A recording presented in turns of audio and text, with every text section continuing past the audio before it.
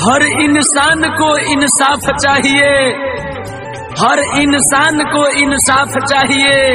लेकिन इंसाफ के लिए आपका साथ चाहिए।